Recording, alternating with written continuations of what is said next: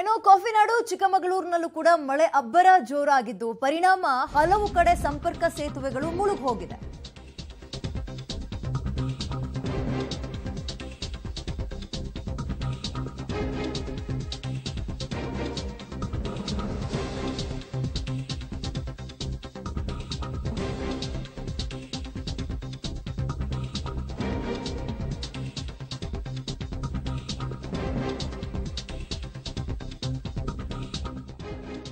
ತುಂಗಭದ್ರಾ, ಹೇಮಾವತಿ ನದಿಗಳ ಒಳಹರಿವಿನಲ್ಲಿ ಈಗ ಹೆಚ್ಚಳ ಆಗಿದೆ.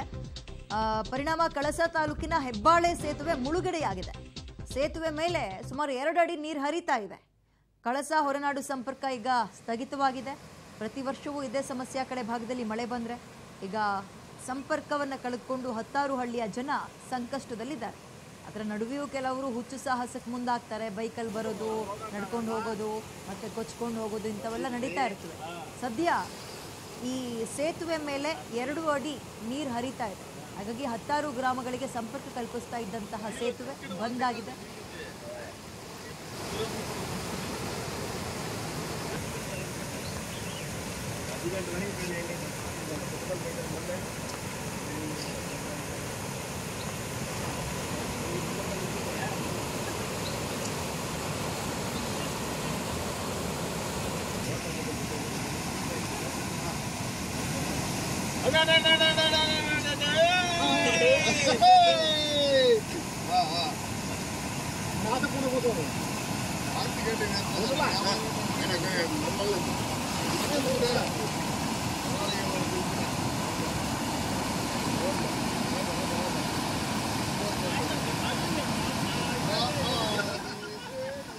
ಚಿಕ್ಕಮಗಳೂರಲ್ಲೂ ಕೂಡ ಕಳೆದ ಮೂರ್ನಾಲ್ಕು ದಿನಗಳಿಂದ ಮಳೆ ಹೆಚ್ಚಾಗಿದೆ. ತುಂತುರು ಮಳೆ ಒಂದು ರೀತಿ ಜೋರಾಗೂ ಬರ್ತಾ ಇಲ್ಲ.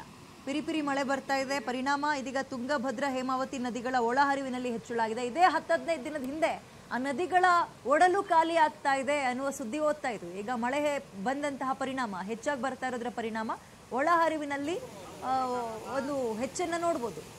ಜೊತೆಗೆ ಕಳಸ ತಾಲೂಕಿನ ಹೆಬ್ಬಾಳೆ ಸೇತುವೆ ಕೂಡ ಮುಳುಗಡೆಯಾಗಿದೆ. ಪರಿಣಾಮ ಹಲವು ಗ್ರಾಮಗಳಿಗೆ ಸಂಪರ್ಕ ಕಲ್ಪಿಸುವಂತಹ ಹೆಬ್ಬಾಳೆ ಸೇತುವೆ ಇದು.